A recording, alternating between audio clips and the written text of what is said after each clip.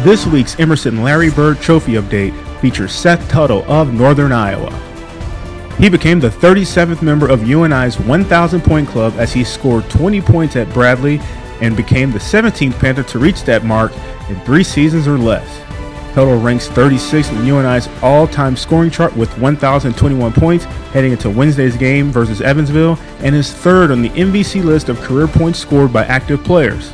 Named Player of the Week on January 20th, Tuttle ranks 8th in the MVC at 14.3 points per game and is tops in the league with 8 rebounds per game.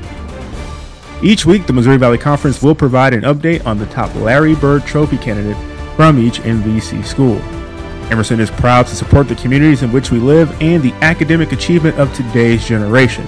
As a presenting partner of the Larry Bird Trophy, Emerson is proud of the MVC student athletes on and off the court achievements and supports the development of tomorrow's leaders.